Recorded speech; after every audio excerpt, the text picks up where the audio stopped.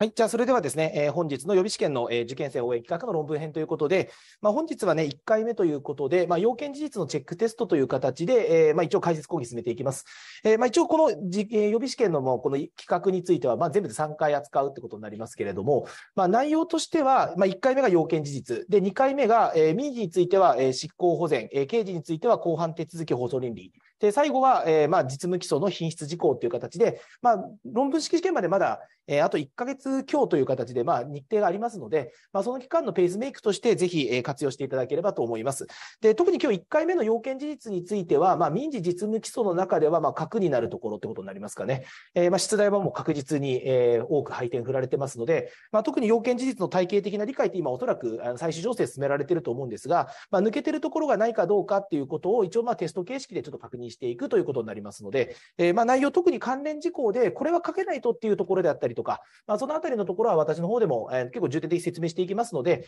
まあ、抜けがないかっていうところをチェックしていただければと思います。で、まずですね、えっ、ー、と、一応、問題編と回答編っていうのがあるんですけれども、基本的に回答編の方を、まあ、プレゼンターで映しながら、えー、もう問題編と合わせて関連事項をやっていくという形になりますので、まあ、ちょっとプレゼンターの方をちょっと映しつつですね、一応回答冊子という方で、一応回答編というところで一応問題の回答ありますので、まあ、抜けがないか、えー、のところを確認していきましょう。で、まず、あの、基本的にはあの、紛争類型別にやっていきますので、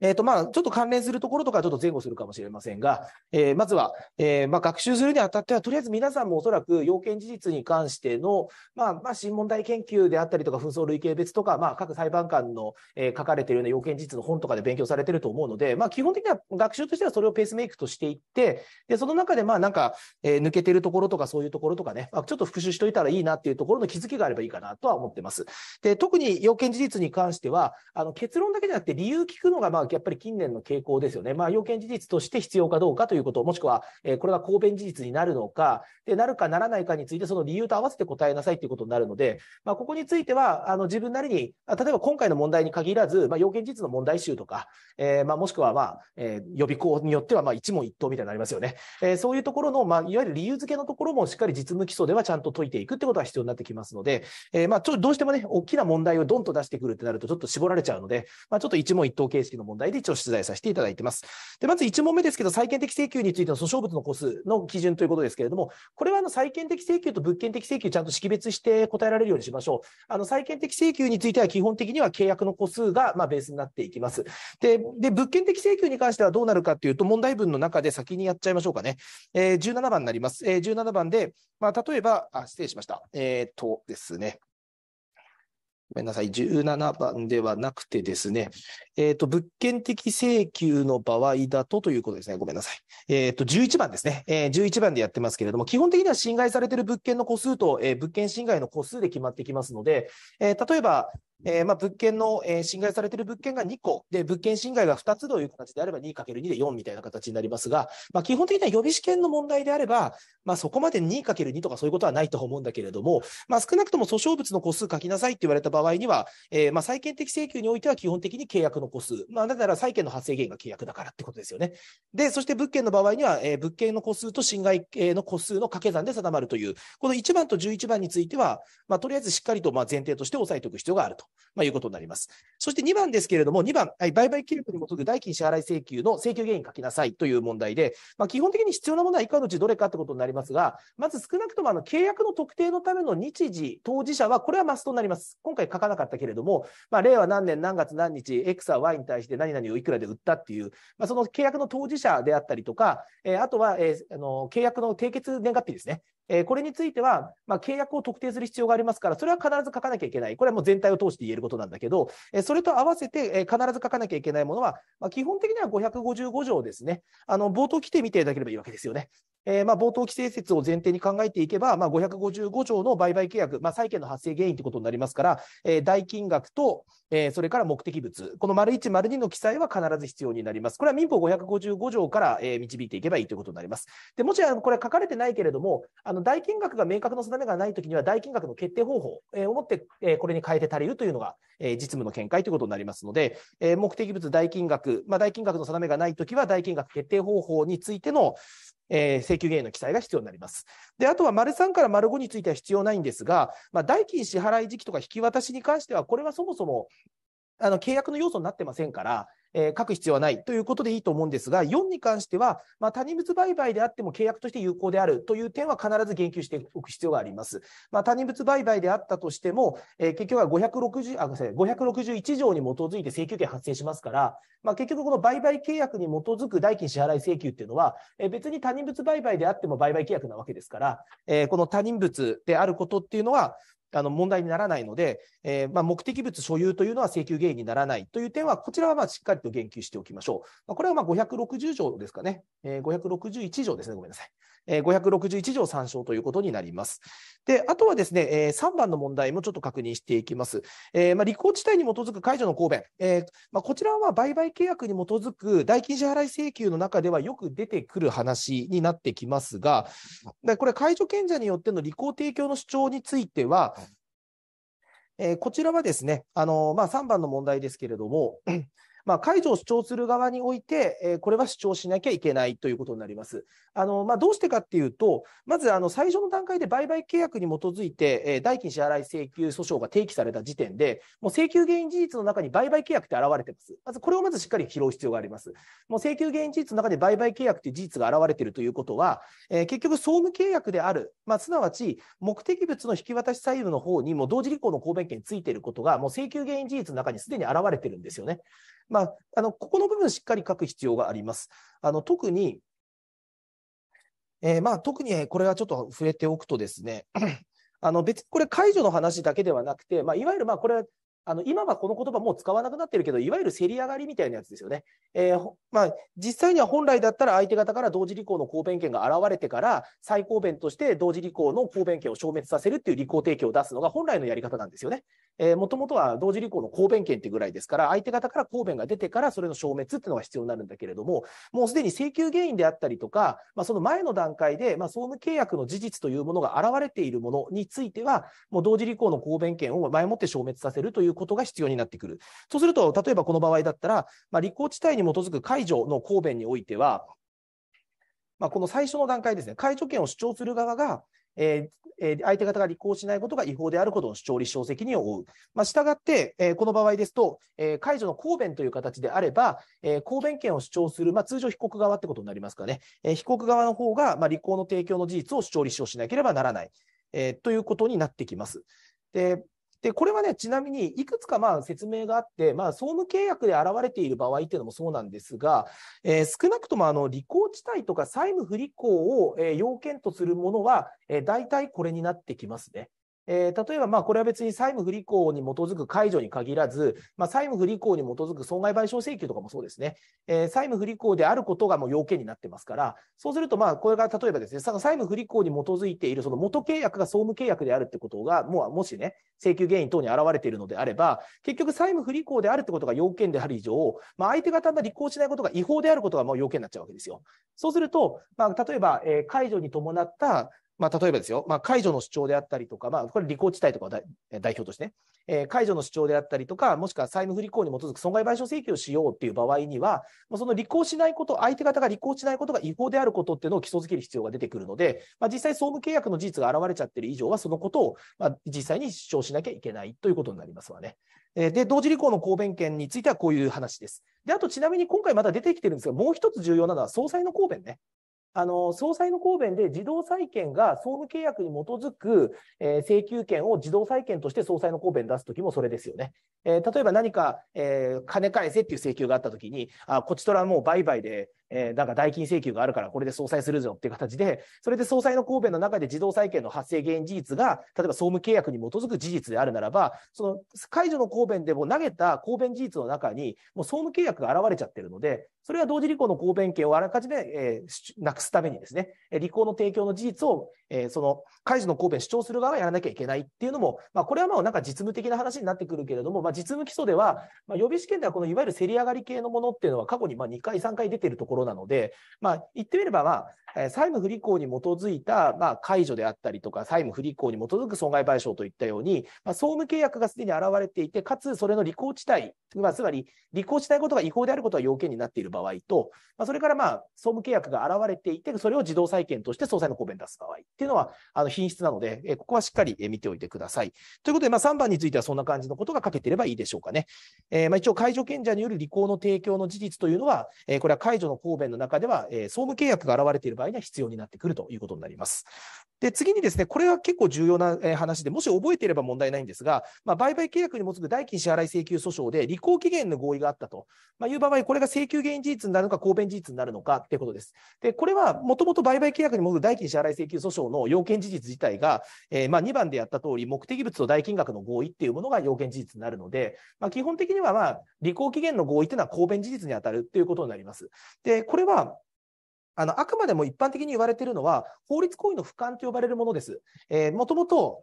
この、まあ、履行期限の合意にかかる事実っていうのは、これは法律行為の俯瞰に当たりますから、成立要件から外れてきます。で、俯瞰に関しての主張立証責任誰が負うかっていうのは、これは法律要件分類説に沿って考えればいいわけですよね。俯瞰によって利益を受けることを主張するものです。法的利益を受けることを主張するものだから、通常売買契約において、まだ履行期が来てないから払いませんぜっていう神戸を出すわけですよ。そうすると、この履行、本来だったらね、これもちゃんとまあ答案上書いてほしいかなっていうところは、まあ、売買契約に基づいて、えー、基本的にはこれ、え、555条に基づいて売買契約に基づく代金支払い請求権が発生すれば、まあ、それでもう請求権としてはもう成立しちゃってるんだよね。っていうことは、それを履行を拒むっていうことのためには、合意が、履行期限の合意が必要になってきて、その履行期限の合意の恩恵を受けるのは被告なわけですから、それはもうこう、もちろん、これは公弁事実として使ってくるんだっていう、まあ、法律要件分類説も踏まえて、まあ、俯瞰について説明できてればいいということになります。で、これはね、あの、ちゃんと体系的なところで確認しておくと、あの、売買契約に基づく履行期の合意っていうのは、えー、これは公弁事実に当たるわけだけれども、貸借型契約の場合には請求原因事実に続けられるからね。まあ、これはあの、5番の問題と密接に関わってくるところになりますが、まあ、消費貸借契約に基づいて貸金返還請求訴訟があったと。で、返還期の合意がまああったという場合ですね。えー、返還期の合意があった場合に、えー、返還時期の合意及び到来は請求原因事実になります。で、これは、あの、貸借型契約の特性とされてますよね。これがなんか、あの、一応なんか見解によっては、その、例えば契約内容の、あの、まあ、本質であると考えるのか、えー、まあ、それともまあ契約内容の本質ではないけれども、貸借型ゆえに、えー、その返還時期の合意というものがなければ意味がないから、えー、それが請求原因になるんだっていう、まあ、そこら辺の見解はいくつかあるんだけれども、まあ、間違いなく言えることっていうのは、請求現実に位置づけられるってことの説明がちゃんとできればいいかなと思います。で、一応これもまあちゃんと説明するとですね、あのやっぱりこここの部分ですよね。貸借型契約の特性っていうのは、えー、貸主が返還請求することができないということの拘束を伴う契約である。まあ、もしくはこの言い回しを使わなくても、貸借型契約っていうのは借りてる方が一定期間使うことっていうものに意味がある契約だっていうことですよね。えー、ですから結局、その、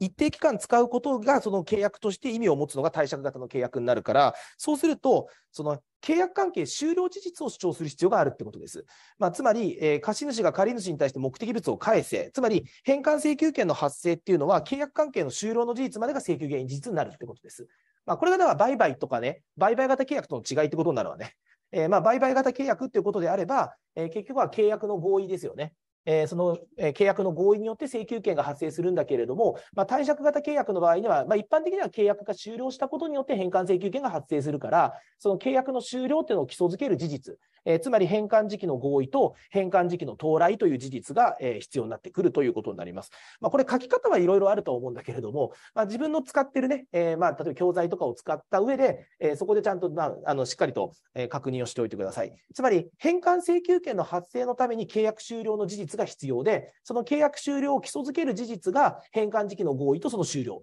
ていう、か、到来ってことね。っていうことになってきます。で、そうするとですね、この返還時期の合意の主張立証が必要になるわけだけど、ただ、返還時期のじゃあ合意がない場合はどうなるかっていうことですよね。まあ、返還時期の合意がなく、え何か金銭を貸し付けたとか、まあ、返還時期の合意なく、まあ、貸借を行ったという場合であれば、契約関係が終了したことを基礎づける事実は要件事実になってきますので、え結果的にはどうなるかというと、まあ、これはあの消費貸借契約ってことになりますが、え消費貸借契約の場合には、返還催告と、え催告後に相当期間が経過したことが要件事実になってくるってことになります。で、これはあのポイントになってくるのは、まあ、とにかく、あのまあ、同じような話になってくるけれども、あのまあ、これは民法の592条ということになりますかね。え返還時期に関しては、え民法の591条が、え591条1項で、えー、返還時期の定めがない場合には、えー、これは相当期間を定めて返還催告をすることになります。で特に、まあ、まあ、担当も突破している以上、もうこの辺は、なんか皆さんにとっては釈迦に説法なのかもしれませんが、えー、相当の期間の経過が必要ですからね。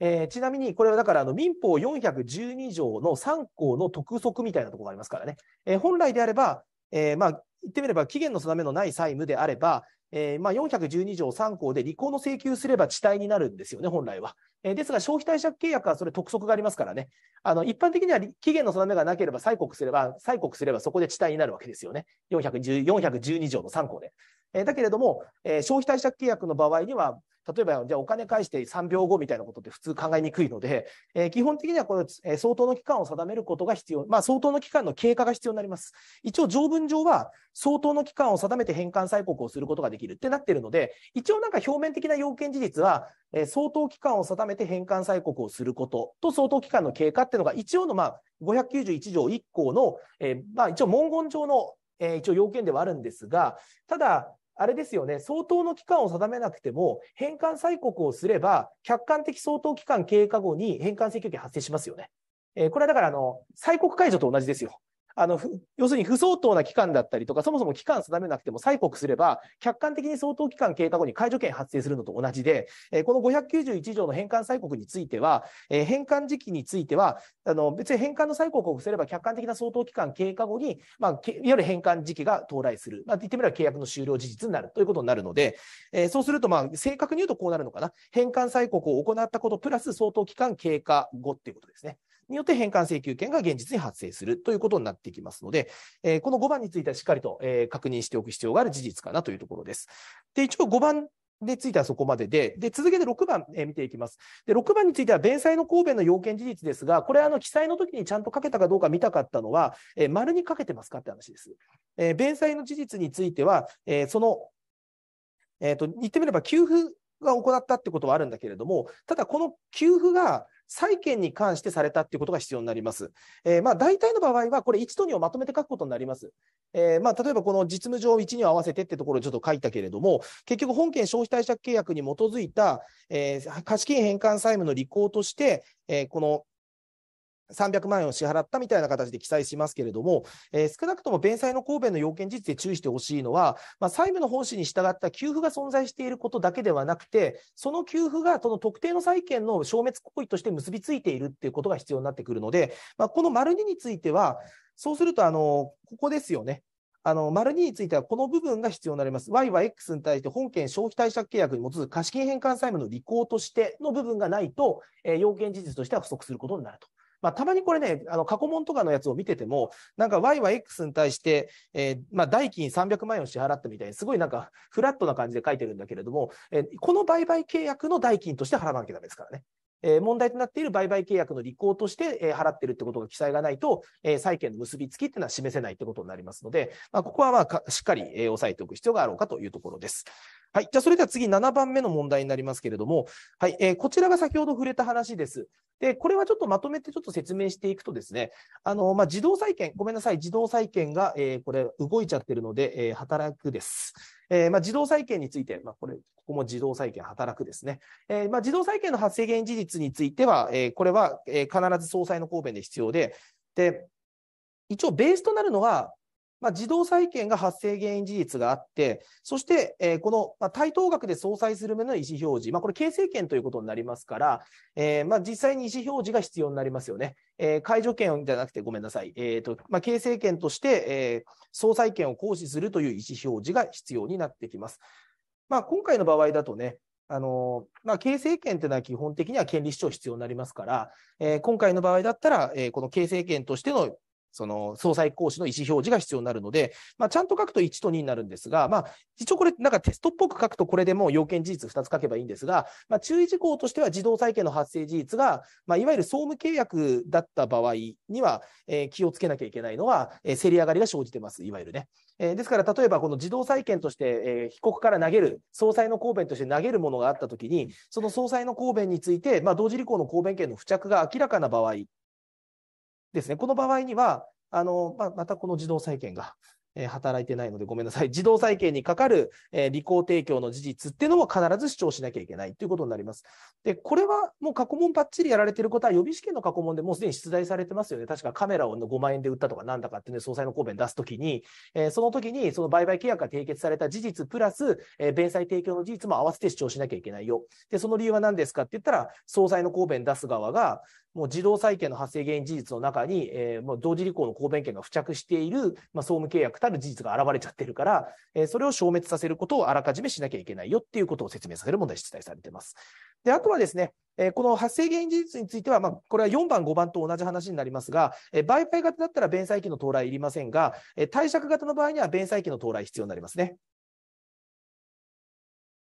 えー、売買型の場合には資格5番ということになりますけれども、まあ、売買型の契約の場合と、えー、貸借型の場合で変わってきますので、まあ、売買型の契約の場合には、それは請求権の発生原因の中には、えー、まあ、いわゆる弁済期、履行期は現れませんので、あくまでも履行期限の公弁として現れるから、え、必要はないわけだけれども、え、貸借型契約の場合には、えま、いわゆるあの弁済期の主張っていうのが請求権の発生のために必要になりますから、えー、そこの部分はちゃんと書かなきゃいけないということになります。はい。で、次8番ですね。えー、8番、賃貸借契約終了に基づいた、えー、土地明け渡し請求における建物宗教義務を伴う場合の訴訟物を答えなさいということですが、えっ、と、これはですね、まあ、非常に重要なところで、賃貸借契約終了の基づいた目的物返還請求権としての、え、建物宗教土地明け請求権1個です。あの、言ってみればこれ賃貸借契約が終わりました。で、それで建物を壊して土地を明け渡してくださいという場合には、まずはあの、訴訟物については目的物返還請求権ですよね。えー、賃貸借契約終了に基づいた、まあ、もしくは伴うという言い方もあるかな。えー、賃貸借契約終了に伴う、もしくは賃貸借契約終了に基づいた目的物返還請求権という、まあ、債権的請求として、えー、建物、宗教、土地明け渡しを求めることになります。で、ちなみにこれ物件的請求だった場合どうなるでしょうかと、まあ、いう話です。えー、例えば所有権に基づいて、えー、土地を明け渡せという場合には、10、えー、ごめんなさい。えー、っとですね。まあ、これについてもちょっとまあ、えー、確認しておかなきゃいかんなというところになるんですが、10番と、えー、これ絡んできます。なんか8番と10番はこれワンセットの問題です。えー、所有権に基づく、えー、返還請求権については、はい。えっ、ー、と、こちらについてはですね、10番についてはですね、こうなるわけですよ。所有権に基づく返還請求権として土地明け渡し請求訴訟を行った。この時、建物宗教義務を伴う場合の訴訟物は、えー、一応このようにえー、と一応、所有権に基づく返還請求権としての土地明け渡し請求権1個っていうのが一般的です。でもちろんこれ、あの建物、宗教、土地明け渡し請求権っていうふうに、あの記載するっていう見解もあるので、ちょっとここはもしね、自分の持ってる見解とは違いますよっていう形であれば、あのー、そこはちょっと修正が必要になりますが、一応まあ、こういうふうに、まあ、一般的には賃貸借契約の場合は、建物、宗教、土地明け渡しというものが、えこれは宗教義務っていうのが当然に含まれるから、建物、宗教、土地明け渡し請求権になるんですよ。あのどういうことかというと、賃貸借契約の目的物返還っていうのは、これはもちろん現状回復義務が当然に入ってくるんですよ。まあ、言ってみれば、賃貸借契約があって、賃貸借契約が終了して目的物返せっていう時には、ただ目的物を返すだけじゃなくて、現状回復の上目的物を返すっていうことが請求権の内容になりますよね。で、これはもう、あの、債権的な請求の場合は、やっぱりこの賃借人の目的物返還義務は、現状回復義務としての建物宗教義務が当然に含まれるってことになりますから、そうすると、まあ、結局のところ、実態法上どういう関係に立つかっていうと、賃貸借契約を終了した場合には、現状回復の上で賃貸人に返せっていう1個の義務が関連できるんですよ。で、1個の義務が関連できるから、えー、一応、まあ、実務上は建物、宗教、土地明け渡し請求権1個という形で、えー、まあ、訴訟物は記載されます。で、で、10番については、じゃあなんで建物、宗教がつかないのか、えー、という話だけれども、あくまでも建物、宗教はこれは土地明け渡しの一つの履行手段に過ぎないんだって説明されます。えー、つまり、えー、賃貸借契約においては目的物を返すことの中に現状回復の上目的物返すってことが、まあ、賃貸借契約の中では義務内容になってるってことになるから、訴訟物としては建物、宗教、土地明け渡しになる。けれども、えー、所有権に基づく返還請求権の場合は、あの、ちなみにこれ建物、宗教してって必ず、これ気をつけてね、請求原因には、あ、ごめんなさい。請求の趣旨には書きます。建物宗教義務を伴うときには。つまり、え建物を宗教して、被告は原告に対し別紙物件目録記載の土地に、あたとえたえ別紙物件目録記載の建物を宗教して、え土地を明け渡せっていう形で、あの請求の趣旨のところには建物を宗教して土地を明け渡せって書きます。で、あれはなんで書くかって言ったら、訴訟物に建物宗教が入ってるんじゃなくて、強制執行できないからです。その建物宗教というのを強制執行するためには、主文の中に建物宗教っていう一文がないと強制執行ができないから、請求の趣旨の中に建物を宗教してって言葉を入れるわけで、あくまでもそれだけなんですよ。あの、物件的請求の場合は。つまり、この土地明け渡しして債務名義だったら強制宗教ができないんですよね。えー、なので、執行法上の制約から執行方法を明示するために、えー、この建物宗教って一文をつけるんですよ。ということは、あの、あくまでも、これは別個の実態保障請求権が現れているわけではなくて、あの、端的に、これ建物宗教っていうのは土地明け渡しの集団とか履行対応なんですよ。えー、なので、このような違いが生じてきます。で、もちろんですけれども、これはあの、もう皆さんがもう実務基礎がっちりやってるっていう前提になるけれども、あの、請求の趣旨は変わらないですよね。えー、請求の趣旨はおそらくは被告は原告に対し、まあ、本件建物を宗教して本件土地を明け渡せみたいな感じの、まあ、請求の趣旨は結論的表示だからね。えー、になるけれども、じゃあ実際にそれを訴訟物として実際何なのかっていうふうに考えていくと、まあ、債権的請求の場合と物件的請求の場合では、えー、このように訴訟物ちょっと異なってるよっていうところはちょっと見ておくといいかなと思います。で、でちなみに物件的請求については、えー、9番からあ、ごめんなさい、9番はまだですね、えー、9番は債権的請求ということになりますが、えー、これもまあ、あの本当に外しちゃいけない問題という形で載っけてます。えー、賃貸借契約終了に基づいた目的物返還請求権としての土地明け出し請求の請求原因事実で、引き渡しが必要ですよね。基づく引き渡しっていうのが必要になります。で、これは、契約に基づく引き渡しをしたということが必ず必要になります。まあ、実際だから、賃貸借契約がまあ締結されて、でその賃貸借契約が締結されて、それに基づく引き渡しがなされたことに加えて、貸借型だから、まあ、言ってみれば期限が到来したことってことで、履行期限の合意ないし、合意及び到来っていうのが、まあ、請求原因事実として現れてくるわけですよね。まあ、通常だったら、まあ、その記載の順番だったら、まあ、大体の場合はあれですよね、えー、賃貸借契約の締結された事実に、そこにまあ履行期限の合意があるよってことと、あ履行期限っていうかね、その返還期の合意があるよってことですよね。え実際賃貸借契約が締結されていて、で、それ返還時期の合意がありました。で、基づく引き渡しが出されて、で、それでまあ、履行、あの、返還期限が到来したよみたいな話になってくるとは思うんですが、この時、あの、必ず基づく引き渡しを書かなきゃいけないっていうことですが、これ、まあ、予備試験の中でもやっぱりね、あの、この記載は必要か、えー、必要であるならば利用を答えなさいっていう、まあ、典型的な問題ってことになりますが、あの、これは契約に基づく引き渡しっていうのが、えー、少なくともこの契約停終了に基づく目的物返還請求の前提だから、えー、という説明がなされます。で、特にこの説明でちょっとピンとこないなっていうことであれば、あの、結局契約に基づいて引き渡しをしたから、え契約が終わったら返せっていうことですよね。いいよね。少なくとも契約に基づいた引き渡しであることが、結局まあ同じこと言ってるのかな。え契約終わった時に返せっていうその基礎を基礎づけるってことになりますので、えー、一応これはもう契約に基づく引き渡しであることをちゃんと説明しなければならないよと、まあ、いうことになってきます。そうですね。えー、まあ、だから、あの、まあ、言ってみればあれですよね。これがないと、結局被告が今なんかその目的地を持ってても、それが不法占有だって可能性とかもあるわけですよ。まあ、実際にその、そのなんか不法占有だったりとか契約に基づかない全く別個の理由で、えー、これが、えー、被告が何か目的物を占有しているって場合に対して、じゃあ賃貸借契約が終わったから返しなさいっていうことは、それは要するに、あのその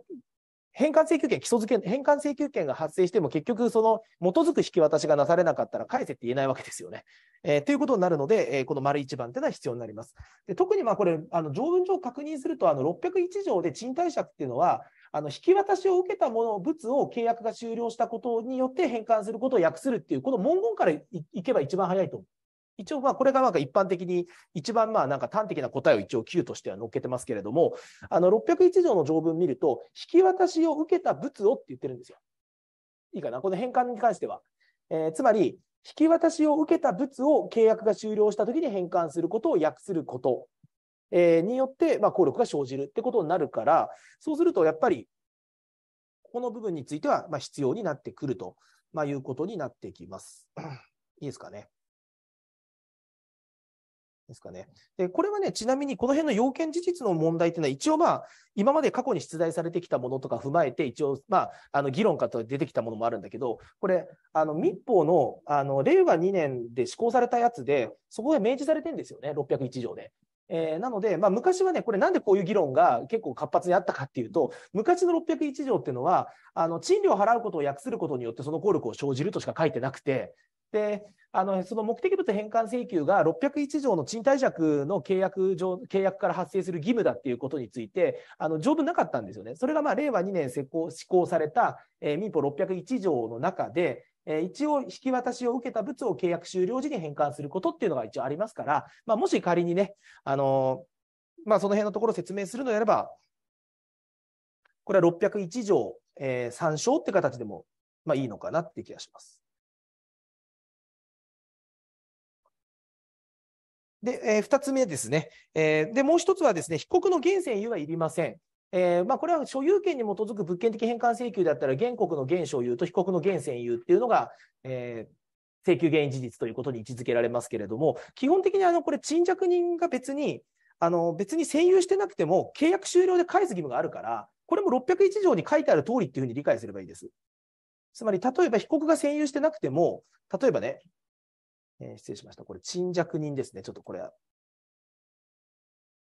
えー、賃借人ってことになりますけれども、まあ、賃借人が第三者に例えば目的物を譲渡して、それでまあ実際に、えー、被告が土地を占有していなくても、別にこれ契約に基づいて返せってことになりますから、例えば被告が全く無関係な A さんに、えー、勝手にそれ使わせてるって場合でも、結局契約が終了すれば、被告は結局 A さんから取り返してでも原告に返さなきゃいけないわけでしょ。それが賃貸借契約、まあ、債権的請求という賃貸借なわけだから、え別に、え被告が占有していることについては全く問題にならない。え、ということね。えー、特に、まあ、えー、第三者に譲渡した、えー、という場合なんかは特に、えー、まあ、占有してないってことになりますけれども、その時はその第三者から取り返してでもちゃんと契約が終わったんだから返すってことをすることが賃借人の義務なんだからいらないよっていうことになります。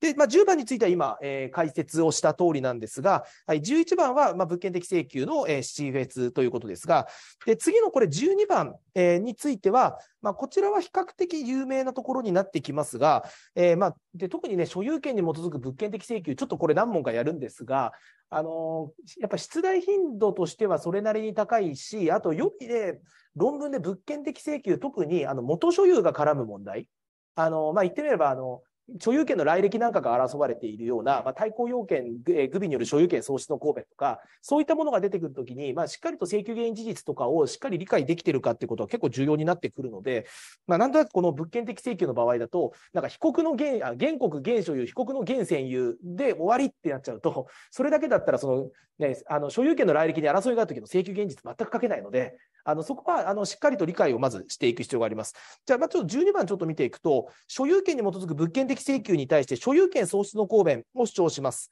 で、事故に移転することまで主張する必要はあるか、理由をして答えよう。これは必要はありません。あの要は、で、これなんでですかっていうことをちょっとね、あの、まあ、分かってる人からすれば、ふーんって感じだけど、あの、まあ、要件事実勉強してちょっと間もなかったりとか、もしくはこれからちょっとがっちり勉強しようって方は、なんで所有権喪失の公弁なんですかね、あれは。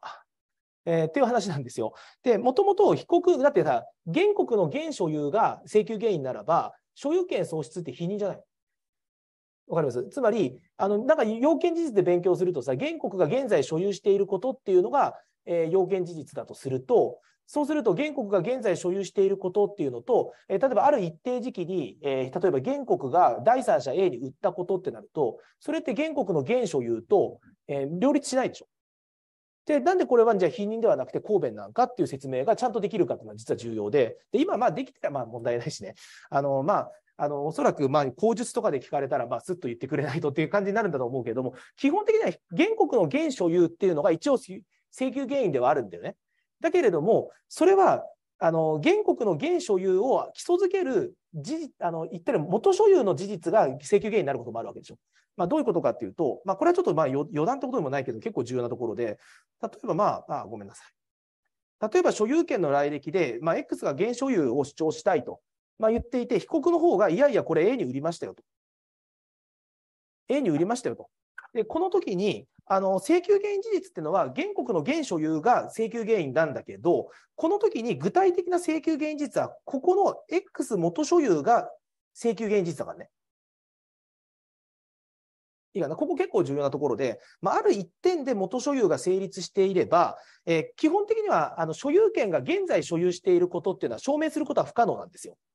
で現在所有しているなんてことは証明することはできなくて、え基本的にはある一点の過去の事実において、えその人が所有しているっていうことが一応立証できれば、この当時に所有していたのであれば、現在も所有しているっていう、まあ、いわゆる経験則ですよね。の中で実際現所有が基礎づけられるんですよ。で、で、実際に、じゃあ所有してることって証明できますかっていうと、基本的には証明することっていうのは、まあ、なかなか困難なわけですよね。じゃあどういうふうに、まあ、実際判例とかね、実務で考えてるかっていうと、権利自白が成立することを前もって予測するんですよね。えつまりえ、例えばこの時点で A が、例えばね、えー、7月の1日に俺が買った、A が買ったんだっていうような主張をするのであれば、7月1日に X が持っていることは争うことはできないわけですよね。つまり、もともと X としては今は現現所有っていうのを、まあ、請求原因事実として言いたいわけですよ。えー、現所有というのを請求現実として言いたくて、で、だけれども、現所有についても争いがある場合には、とりあえず、この、例えばこの場合、XA 売買っていうのを多分、えー、XA 売買っていうのを主張することになるわけですよ。で、XA 売買を主張するにあたって、そうすると7月1日における、あ、ごめんなさい。これちょっとあれですけど、7月1日において原告がもともと持っていたことは、まあ、いわゆる主張立証の関係上、被告としては争えないわけですよね。ならば、原告はこの X 元所有を請求原因事実として打ち立てるんですよ。で、請求原因事実と打ち立てれば、それによって、現在の特段の事情がなければ、現在所有しているってことを基礎づけるんですよ。ということですよね。そうすると、これが請求原因事実として現れる。で、そうすると、この請求原因事実について、Y としては権利自白するしかないから、まあ、Y としては権利自白するしかないから、7月1日に Y がもともと持っていたっていうことについて、えー、認めた上で、でも、7月1日に売却したよねっていうことになるから、この2つ両立するんですよ。えー、つまり7月1日が元所有が、まあ、請求権になってるっていうことが分かると、これは一遍所有権喪失の公弁という位置づけになってくるので、あのよくこれマジックワードになってくるところで、あの現所有っていうのが、まあ、基本的にはこの物件的請求の、えー、要件事実ではあるんだけれども、この所有権の来歴に何の争いもないんだったら、現在所有しているって言っちゃえば権利弱成立で終わるから。例えばこれ占有権限の公弁なんかそれでしょ。もう、えー、原告がずっとこの土地を所有していますよ。で、被告が占有しているから明け渡してくれっていう場合、その現所有に権利自覚が成立するような占有権限の公弁型であればそれでいいけど、例えば所有権の来歴に争うときに、現所有っていうのは基本的に主張しないんですよ。だから、ちょっと変わってるけれども、物件的請求の場合には、原告の言い分、被告の言い分をあらかじめ見といて、で、被告の予想される言い分からやるしかないんですよね。で、その時に、もうどうしても原告が、あ、しかない被告が争う余地のないところの直近の元所有を主張すればいい。っていうことになるわけね。そうすると今回であれば、まあ、そうするとそこの部分は必ず権利自白成立するから、だったら権利自白が成立すれば、それを前提に被告は所有権喪失の主張とかをしてくるから、これは公弁事実に位置づけられる。っていうことになるので、あの、特になんか、これが否認なんじゃねえのっていうふうにちょっと思った人は本当に要注意っていうところになりますので、えー、一応これは公弁事実になる。で、これは物件的請求の請求原事実が具体的に何なのかってことが、まあ、捉えられてるかどうかって問題になります。で、そうすると、まあ、結局の、ごめんなさい。所有権喪失の公弁は、とりあえずこの X 元所有を否定できればいいんですよ。まあ、つまり、簡単に言ってしまうと、公弁の定義って覚えてください。請求原因事実と両立していて、かつ、その請求原因事実によって発生する法律効果を阻害する効果を持てばいいんでしょ。とすると、別にこれ、現所有を要するに基礎づけない特段の事情があれば、それによって物件的返還請求権は、えー、発生しませんよね。ですから別に誰に売ろうが関係ないんですよ。X が所有、X の元所有から、えー、X の現所有までの間ですね。えー、この元所有から現所有の間に、X じゃない人が所有者になれば請求原因潰せますよ。あの、すみません。請求原因から発生する、その物件的請求権っていうのは阻害できますから、一応所有権喪失の公弁においては、えー、これは、えー、原告に目的物の所有権がないことが立証できれば公弁として機能するので、えー、これは別に、あれですよね。えっ、ー、と、まあ問題としては、目的物の所有権が事故に移転していることを主張する必要は全くありません。だからこのように、まあ Y、Y が、被告である Y が、えー、X が A に売ったでもいいわけですよね。っていうところが、まあ抑えられていれば結構だと思います。あの、ちなみにこれ、所有権が移転した事実まで主張すると、これは過剰主張にやっちゃいますので気をつけてください。で、であとはですね、あの、まあ、これも同じ話になりますけれども、例えばこのように XA 売買が締結されたっていうことであれば、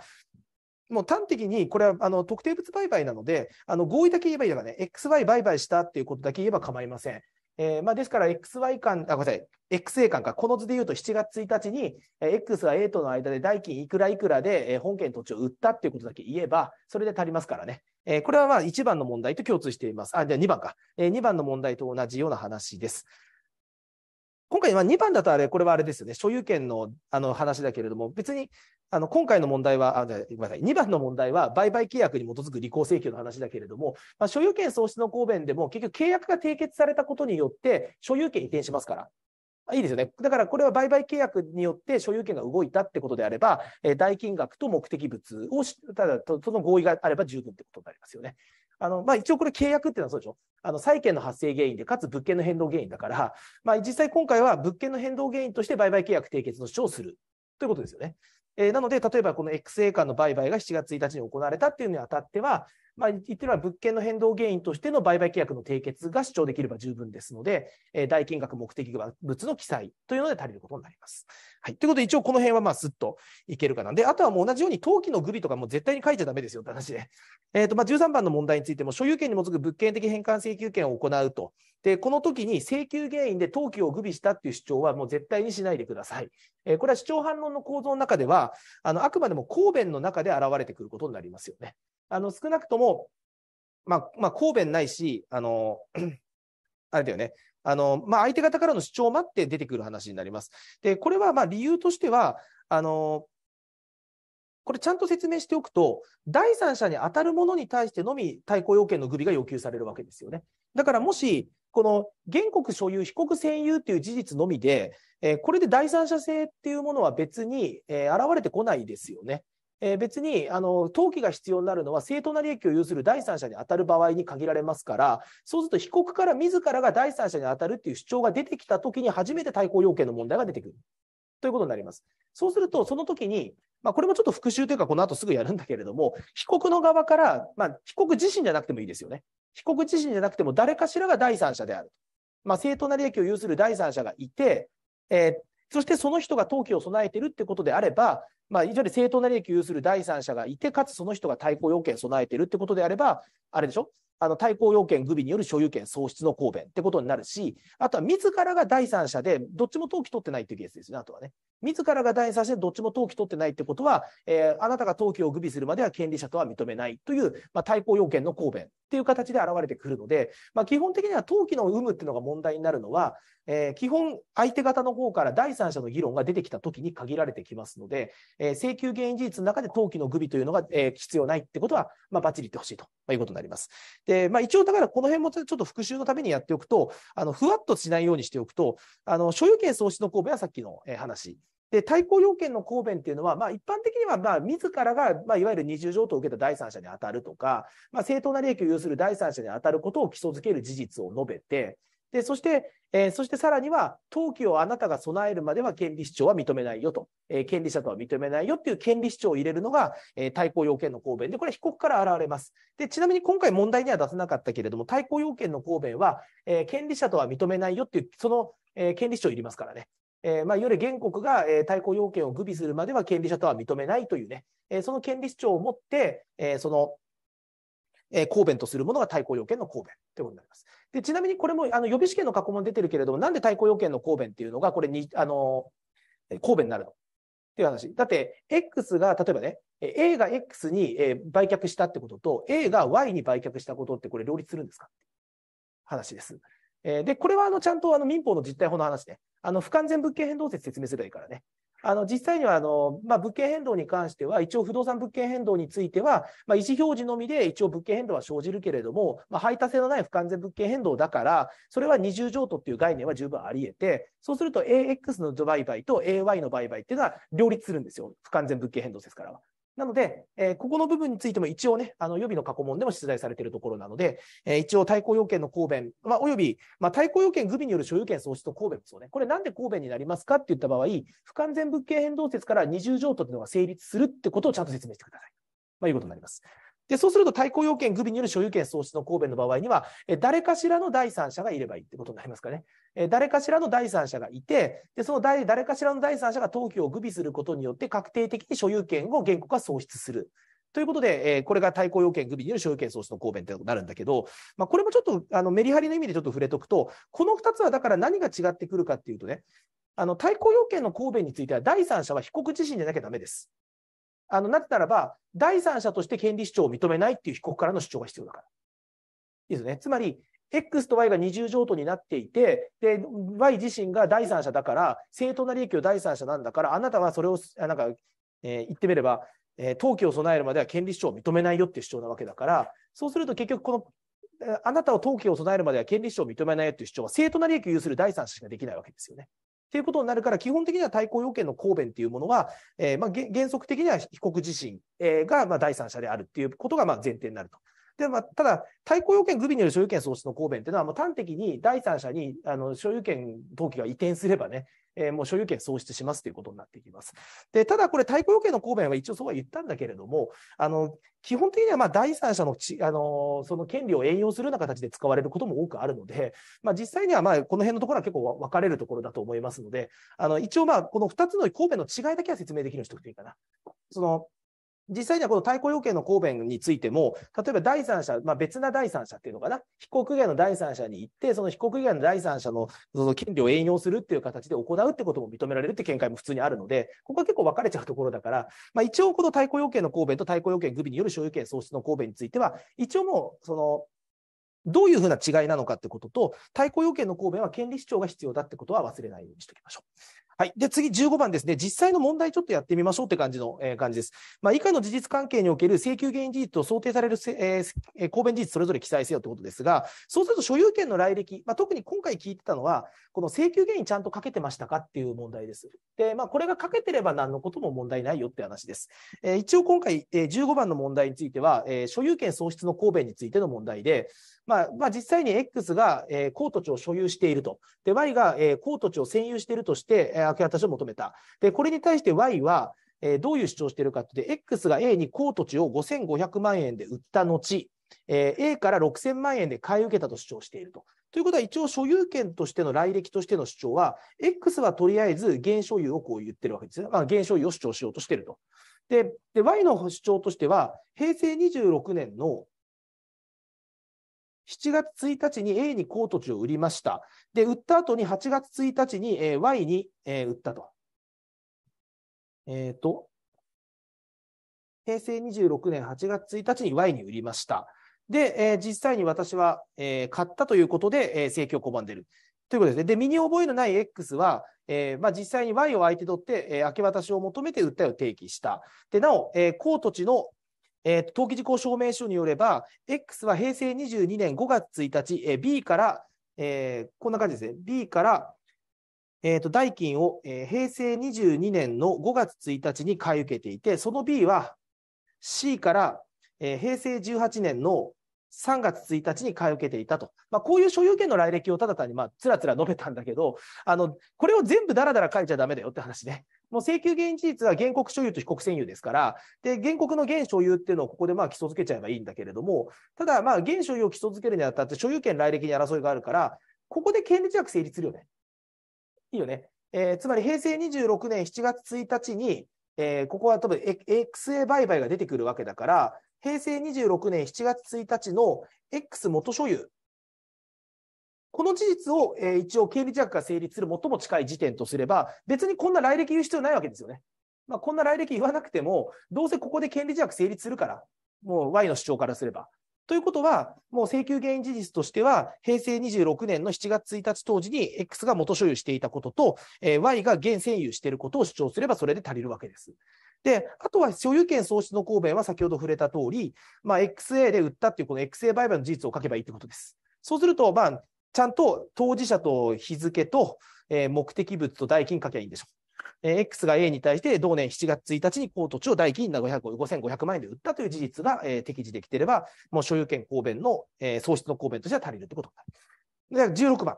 まあ、16番もちょっとね、えー、まあ触れておくと、今度はちょっとまあ事実関係もうちょっと、えー、ごちゃっとしてくるので、えーまあ、ちょっとごちゃっとしてるところをちょっと整理しましょう。はい、えー、まず X は平成26年4月1日に A から高土地を2000万円で買い受けたが、同年5月、Y が高土地を X に無断で、え、建築用資材置き場として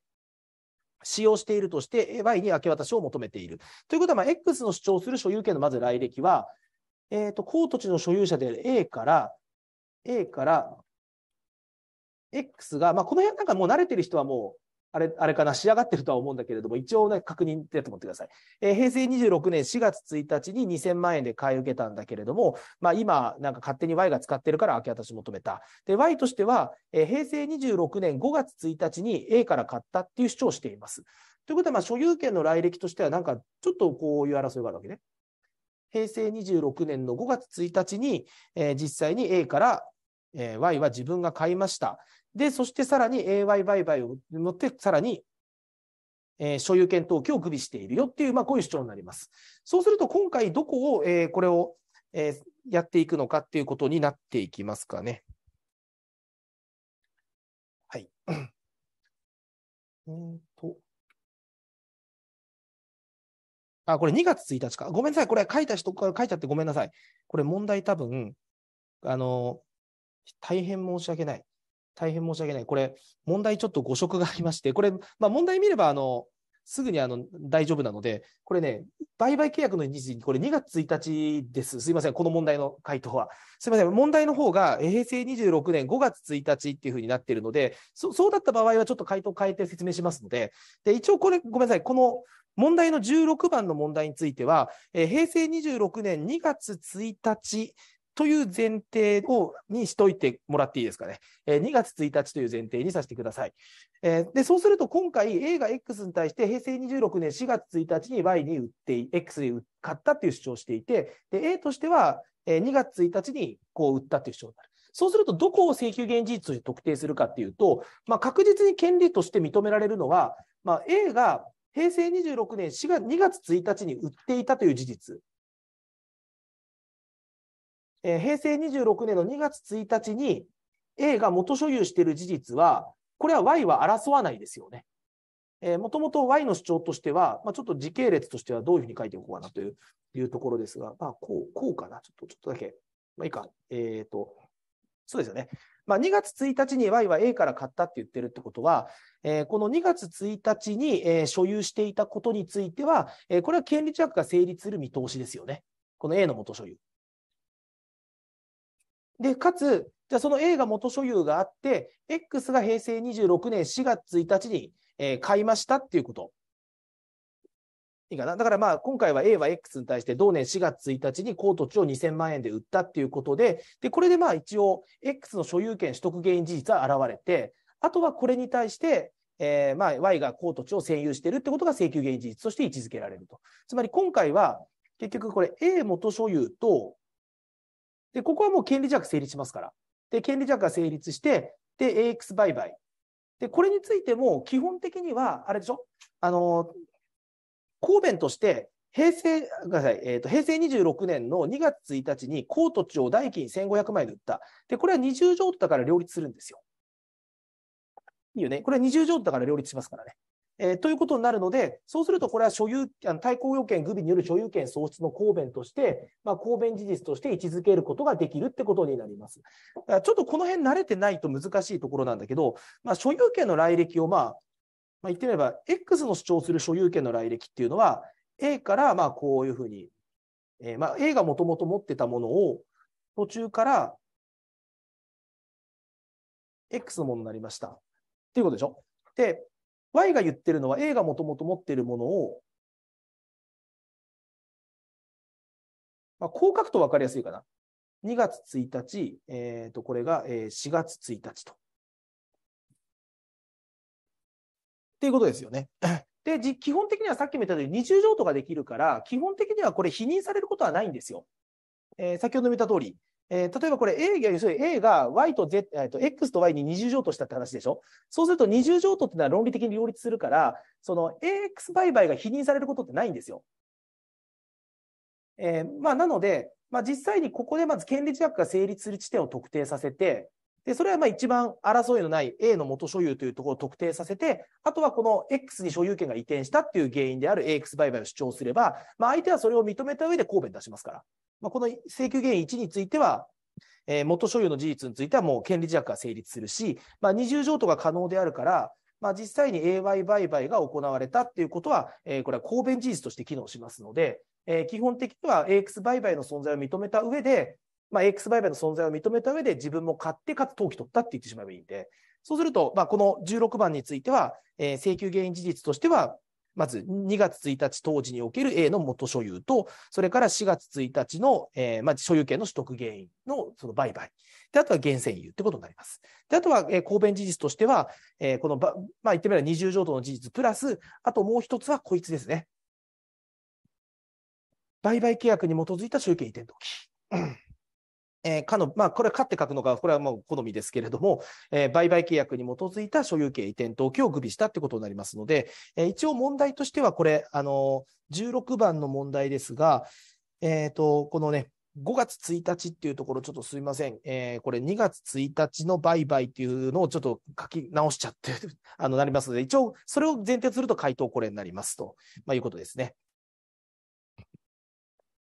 あでちなみにですけれども、これ皆さんがもし回答を取られている場合は、えー、16番サクッとあのやっておくと、あの一応16番の問題が一応5月1日だったとしてもやること変わりませんので、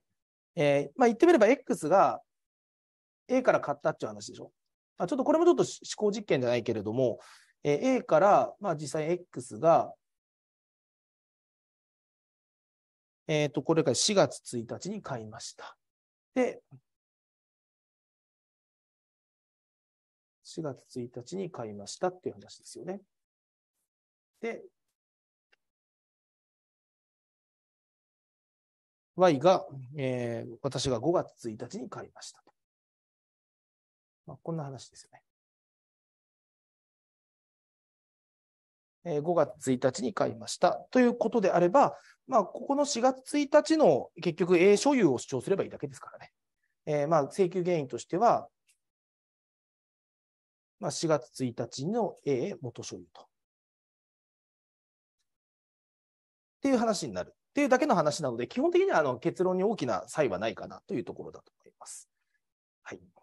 えー、さっきの問題ごめんなさい。えっ、ー、と、一応さっきの問題がですね、えー、まあ、2月1日当時ってなってますけれども、これがもしあの売却日時の方がですね、5月1日で Y が買ったっていうことであれば、結局はこの4月1日の時点における、えー、あ、まあそうだね。えー、ところについてはやっぱり争うことはないでしょうから、そこから出発していけばいいと、まあ、いうことになると思います。はい。じゃあ、それではちょっとすみませんでした。えー、ちょっとバタッとしちゃいましたけれども、えー、問題第17問、えー、もう先に見ておきます。で、一応問題としては多分、あの、自然な問題なのが多分、こうやって2月1日だこと多分分かりやすいと思うので、え、一応、売買に、売買の日について、え、一応2月1日に、え、買い受けて、えー、まあ5月1日登記みたいな感じの方にちょっと直しておいていただければと思います。で、17番についてですね、所有権に基づく、えー、所有権移転登記、抹消登記の訴訟物答えなさい。えー、これはまあ、あの、もう妨害排除請求権ね。えー、所有権に基づく妨害排除請求権です。で、理由はもうシンプルで、えー、占有以外に基づいた侵害だからですよね。えー、占有に関する侵害が物件的返還請求権になりますから、えー、今回、ね、不実登記があるっていう場合には、不実登記については、えー、妨害排除請求権ということになります。で、あとは18番、えー、こちらもまあ予備試験の問題なんかではもうよく出てきてるやつね、あの請求の趣旨で絶対に外しちゃいかんやつで、あの抹消登記手続きだから、原告に対し書いちゃいけませんからね。あの移転登記ならば原告に対しとか、まあ、いわゆる移転先が明示することは必要ですけれども、今回、抹消登記ということになりますから、原告に対しては書く必要はありません。であとは、えー、被告は公土地について、別紙物件目録記載の、別紙登記目録記載の、まあ、これは、あの物件目録って書かれることもありますけど、所有権移転登記に抹消登記手続きをせよね。えー、抹消登記手続きをせよなので、抹消登記をするのは登記官ですからね。えー、なので、え、必ず登記申請の抹消登記手続きをせよ。えー、というところになります。まあ、あとはこれ、まあ、予備試験でも出てくる通り、これ、登記移転請求権って意思表示を求める、えー、請求ですよね。えー、だからまあ実際に判決の確定によって意思表示が犠牲されるっていうまあ性質がありますよね。えー、ということになりますから、まあ、実際に意思表示を求める請求ってことになるから、登記手続きをせよっていう主文が必要になってくると、まあ、いうことになります。はい。で、あとはこれ、たまに聞かれるんですが、これも登記原因書くかって話ですが、登記原因関連できませんので、えー、実務上は登記原因書きません。えー、つまり、えー、通常だったら登記をするにあたっては、何月何日売買を原因とするとか、何月何日相続を原因とするとか、まあ、そういうことを書きますけれども、あの、抹消登記については、もう一般的な名称がないことからできないとされています。じゃあ、この物件的、えー、このね、えー、妨害排除請求権としての抹消登記請求って今やったけれども、えー、その時に、はい、えっ、とね、移転請求できるか。つまり、不実登記名義人に対して、え本来だったら抹消登記請求を行うんだけれども、移転登記請求という形で実現できるかっていうのが、まあ、19番の問題ということになります。はい、19番、あの所有権でもく抹消登記に代わって移転登記手続き請求、えこれは判例上認めてます。えこれはちゃんと、えこれも予備試験で確か聞かれてたかな。あの、登記原因がこれです。申請の登記名義回復というものですよね。あの、実務上本来だったら、あの、妨害排除請求だから抹消登記請求なんですよ。抹消登記手続きを求めるんだけれども、ただ抹消登記手続きを求めるよりは、もっと端的に、結局、不実登記名義人がいるんだから、その不実登記名義人から自分に登記をもう移転させろっていうのが、やっぱりその方が紛争解決直接的なんですよ。なので、一応実務上も判例上もそうで、え本来だったら妨害排除請求って抹消登記請求なんだけど、あの移転登記請求もできるということです。ごめんなさい。所有権って変な書いてある。これ関係ないです。すいませんでした。えー、つまり神聖な登記名義の回復を原因とする所有権移転登記手続き請求というのも一応可能だっていうのが判例になります。まあ、一応ちゃんとこの登記原因が一応、神聖な登記名義の回復を原因とするっていう記載が、えー、今回移転登記請求だから登記原因書かなきゃいけないので、えー、抹消登記に代わって行う場合には、この神聖な登記名義回復が必要になります。では、えー、20番ですね。で、20番から、まあ、あと6問ほどになりますが、まあ、ちょっと、えー、駆け足ですけれども、ちょっとやっていきましょう。え、ー、と、まず Y が、えー、原告に対して公土地について、えー、まあ、これ、あごめんなさい、20番問題からね、えー、Y を被告として提起した公土地の時効取得を原因とする所有権移転登記手続請求の請求の趣旨を記載せよ。えー、これはもう引っかかっちゃいけないっていう話で、登記原因は起算日に遡ってくださいね。あの、令和2年2月1日から令和22年2月1日の20年間の占有期間を理由として時効取得主張するわけだけど、あの、時効の起算点、あ、時効の効力というのは起算点に遡りますから、一応条文上は、えー、と144条ね。えー、144条がありますから、えー、令和2年2月1日時効取得です。を原因とする所有権移転登記手続きをせよということになります。で、今回はちょっと移転登記手続きの練習ということになるので、あの、一応これ請求の趣旨を書く場合には、まあ、原告に対しということになりますね。まあ、移転登記請求を求めるということになりますから、あ、で、もちろんこれ、あの、19番については、これ、あの、請求できますかっていう問題だから、請求の趣旨を書くときには、原告に対し手続きを背負って書かなきゃダメですよ。いいですね。あの、これ19番の問題は、あの、ただ単にこの移転登記手続き請求が認められますかっていう質問だから、まあ、この神聖な登記名義の回復を原因とすればできますよっていう答えになるけれども、請求の趣旨を記載せよっていう場合には、移転登記請求である以上、誰々に対しがいります。いいね。あの、移転登記請求ですから、これ19番もし仮に訴訟物の問題ではなくて、請求の趣旨を記載せよっていう場合だったら、えー、原告に対しということになるだろうし、えー、移転登記手続きをせよになりますよね。なんで、そこはあの移転登記全般で言えることです。で、今回、時効取得に関しては、えー、原告に対しというところと、あとは手続きせよ。まあ、ポイントになる点は一応もう触れてますので、えー、登記原因を必ず書いてくださいねというところです。で、あとはですね、これ、あの、まあ、場合によっては口述とかで聞かれるかもしれないけど、あの、原資取得なんですよね、本来はね。あの、時効取得っていうのは。えー、だから抹消登記でやるべきだっていうのが本来のあり方なんですよね。だって原資取得っていうことですから、真っ白の権利関係を取得するってことになるから、なんか移転登記っていうとなんか承継取得っぽくなるでしょ。えー、だから承継取得っぽくなっちゃうから、本来だったら抹消登記請求の方が、まあ、適切なようにも思えるんだけれども、まあ、一応これはあの、あれですよね、実態法上、一応、あの、自己取得って原資取得なんだけれども、まあ、原資取得の結果、えー、前種が所有権を失うっていう関係から、結局、承継取得と同じような関係に立つとされてますので、まあ、一応、実務上は移転登記請求でやりましょうってことになってますので、えー、一応、まあ、この辺、えー、まあ、時効取得によって所有権取得の反射的効果で、えー、前種が所有権喪失するって関係から、まあ、結局本来は時効取得は原資取得なんだけど、まあ、承継取得と同じように移転登記請求で行うというのが、まあ、えー、実務の考え方ということになります。はい。では次ですね。えー、続けて、まあ、21番の問題をちょっと確認しておくと、まあ、あのまず21番については、短期取得事項の、えー、所有権移転登記手請求にかける請求現実を書きなさい。まあ、こちらはもう条文の知識ですよね。えー、ま、書かなきゃいけないことは少なくとも、あの、暫定事実とか法律上の推定が働くものについては請求現実絶対書かないでくださいね。あの、所有の意思とかもう書いた時点で、ああ、みたいな感じになるので、えー、基本的にはまず、書いてはいけないものは186条の暫定事実、所有の意思、平穏公然善意ですよね。で、それから、あの、186条2項で法律の事実推定がありますから、継続のことは証明いりませんので、えー、まあ、一般的には、ある時点での占有と10年経過した時点での占有の2点を証明すればいいわけだから、請求原因事実についてはこの2つを書きましょうということ。で、あとはもう一つ、えー、他人の物については要件になっていませんから、えー、別に自己物でも自己主張が可能なので、え基本的にはこの他人の物であるということも記載は不要です。いいですね。えー、つまり、ある目的物、まあ、今回不動産ってことをな、なえー、一応な、あのしてます。所有権に基づく移転登記だから所有権の不動産というのを前提しますけれども、まあ、少なくとも目的物についてある時点で占有していて、10年後に占有しているって事実があればそれで OK です。で、で、あとはですね、これ、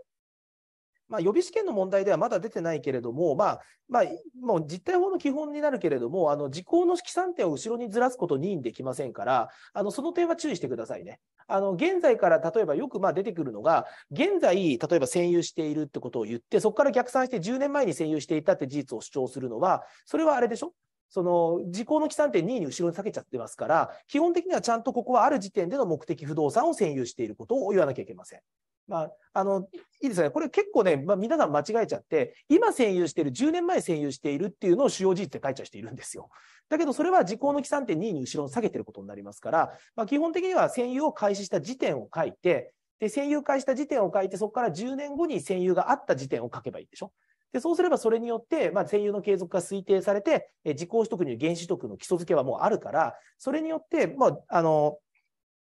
まあ、十分だよっていうことになってきます。自己取得に関しては、えー、それで問題なしと、まあ、いうことになります。いいですかね。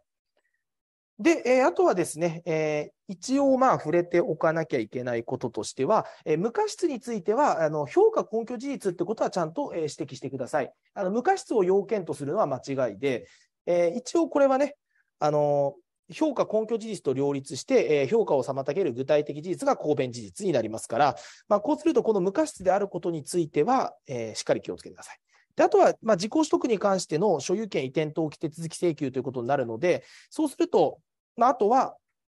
時効援用の意思表示ということになりますね。えー、これはまあ援用の意思表示はまあ要件になってきますので、えー、忘れずに書く必要があると。まあ、いわゆる短期取得事項についてのその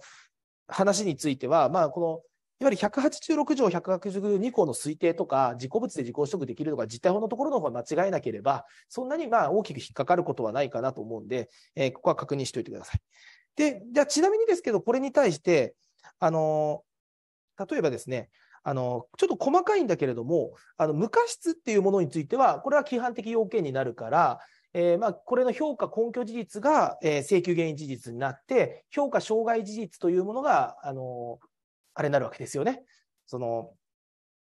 無過失っていう、あ無あの評価、評価、評価障害事実についてが、えー、公弁事実になると、まあ、いうことになりますけれども、あのちなみにこれ、悪意の話ですね、もう一つ確認しておきたいのは、えー、これ、時効取得に限らず、この後即時取得なんかでも、まあ、悪意の公弁というのがあるわけですよ。で、悪意の公弁というのは、あれは公弁です。なぜかっていうと、あの推定されてますから、基本的には。あの善意であることっていうのは、基本的には、えー、まあ時効取得であろうが、即時取得であろうが、善意であることっていうのは、え、基本的にはあの推定が働いていますので、請求原因事実に現れてないんですよね。だから悪意の公弁っていうのは、あれは別に請求現実と両立してるんですよ。だから請求現実で積極的に善意であるってことは出てこないわけだから、悪意であるっていうことは請求現実と両立するので、これは公弁として機能するんだけど、この時にこの悪意っていうものが規範的要件じゃないからね。これは知ってるか知らないかってだけの話だから。で、たまにこれも見るので、ちょっとあれと思った人は、あの、過失の有無っていうのは、これは、あの、規範的要件ですから、評価根拠事実、評価障害事実がそれぞれ要件事実になるけれども、まあ、悪意っていうのはあくまでも知ってるか否か、まあ、厳密に言うと、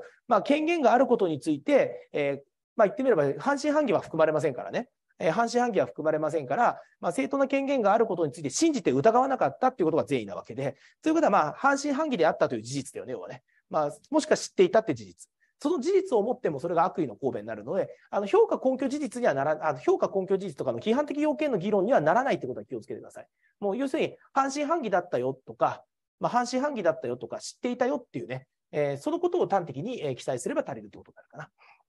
はい。で、次に、まあ、22番、えー、まあ、これも同じような話ですかね。えー、所有権に基づいた、えー、まあ、抵当権登記抹消えー、登記請求があったとします。まあ、所有権に基づいて登記抹消せよっていうのがあったときに、えー、まあ、これ公弁としても典型的なのは、えー、登記保持権限の公弁ってことになりますよね。えー、まあ、実際にあの、もう身に覚えがない抵当権がついてるから消せみたいなときに、いやいや、この抵当権正当の登記なんだから消さねえよっていうのが、えー、登記保持権限の公弁で、で、これについては公弁事実をちゃんと書いてほしいかなっていうところが、あの、3を忘れないでくださいってことですね。おそらく1と2は多分書けると思うんですよ。もう非担保債権がないと、少なくとも不重性の観点から程度権発生しないから、もう非担保債権の発生現実はマストなわけですよ。これはもう不重性の観点から絶対いります。で、あとは、えー、その抵当権設定者が、この非担保債権との結びつきで抵当権設定契約を締結したこと。と、あとは、あの、抵当権設定契約当時の不動産所有。えー、これはあの必ず置かないといけないということですね。で特に何をこれ間違えるかっていうと、あの必ず2の当時の所有を説明してください。あの現所有ではありませんからね、抵当権設定契約のあった当時に所有権があったことが、えー、これはあの問題になりますから、いいですかね。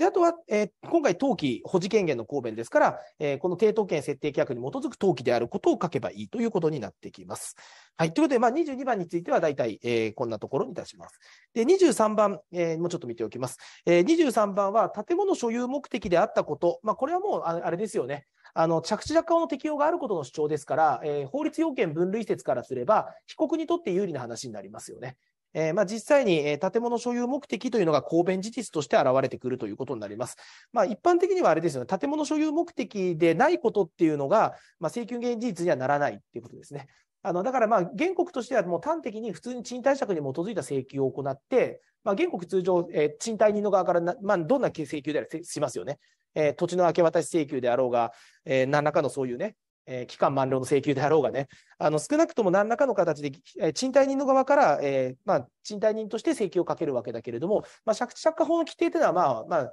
基本的にはまあ借地人保護の規定ですから、存続期間であったりとか、あの法定更新とか、その辺のところは全部借地人に有利ですから、被告である借地人にとっての公弁事実になるっていうことを、まあ、書けば OK っていうことになります。で、次に、え、24番はこれが即時取得になりますが、え、これも同じです。もう確認程度ってことになりますが、即時取得に基づいた返還請求権を行うということになった場合には、あの基本的に無過失要件も判例上推定されますから、もう基本的にはこれだけで足りるんですよね。あのまあ、取引行為であって基づく引き渡し、もちろんこれ動産である前提です。えー、まあ動産である前提ですけど、取引行為によって基づいて動産が引き渡されたこと、えー、それからまああの実際にえー、返還請求権、まあ、所有権に基づく物件的返還請求権ということになりますから、えー、被告の占有というのがあれば足りるということになります。まあ、ここはまあ大丈夫そうですかね。えー、というあたりをまあ見ておくと、まあ、良いかなというところです。で、最後に25番ですが、これはまあ、あの、これも予備試験で過去に出題されているところの確認ということになりますが、あの、即時取得原因をして、所有権に基づく返還請求権として、えー、動産引き渡し請求訴訟が行われたと。で、ここで、あの被告の側が過失の基礎づける評価根拠事実を公弁として出すと。えー、つまり、無過失も推定されますから、今度はね。えー、即時取得の場合には無過失まで推定されてきますので、さっきは動産の場合にはあれでしょえー、動産の場合には、あ、はい、えー、言います。すいません。あの、時効取得ね。え時効取得の場合には、無過失っていうのが請求現事実になりますから、無過失のね、評価根拠事実が請求現事実になるから、えそうすると、無過失の評価障害事実が神戸になるってことになるけれども、即時取得の場合には、あれでしょ？無過失も推定されるので、そもそも無過失の推定が働く以上、過失の評価根拠事実が公弁事実ということですね。で、それに対する、評価障害事実っていうものが、最高弁っていう位置づけになってきますので、あの推定が働くことによって、公弁、最高弁、1段階ずれてきますので、今回は、この即時取得においては、過失を基礎づける、評価、根拠事実が公弁として現れることになる。で、この時にしっかり言わなきゃいけないことは、不審自由の存在と、調査確認義務と、その形態です。もうその3つだね。え、つまり何らかの疑わしいところがあるんですよ。これはなんか、盗まれたもんなんじゃねえか。えー、例えばパソコンの引き渡しを受けたんだけれども、よくわかんねえイニシャルが後ろに彫ってあんぞと。えー、なんかよくわかんない人の写真が貼ってあんぞみたいなことであれば、これはまあ実際に、えー、実際に動産のついて権利者ではないかもしれないという不審自由があったのであれば、それで本人に聞くなりしなきゃいけなかったのに、それをしなかったでしょってことを書けばいいってことね。あの、これはまあ一般的にはなんか正当自由形って大体これですよね。あの、調査義務と調査下体です。あの、これは別にあの、何でもいいですよね。あの、例えば、えー、110条の表権代理の相手方の全員無過失な話もそうですよ。正当な理由なんていう時に、結局その正当な理由ってどうやって基礎づけられるかって言った場合には、不審自由と調査義務。まあ、不審自由があって、調査義務があって、それの形態があったってことを、まあ、えー、基礎づける具体的事実を書いていけばいいということになりますので、えー、こちらの方は、えー、少し確認をしておいていただければと思います。まあ一応なんか、あの、ちょっとチェックテストという形でちょっとやってみましたが、えっ、ー、と、一応あの、ごめんなさい、さっきの問題の中で1問だからちょっと訂正しなきゃいけないところがありまして、16番、えー、さっきの解説のところだと、ちょっと日付の方がずれちゃったので、復習する際にちょっと、あの、あれだったので、えー、ここの部分ですね。平成26年5月1日の部分、申し訳なかったです。ちょっとせっかくテスト解いた方は、まあ、ふざけんなよって話なんですけど、2月1日とさせてください。えー、平成26年2月1日、A から高代金を代金1500万円で買い受け、AY 売買に基づき、平成26年5月1日、高土地の所有権移転登記を具備したこと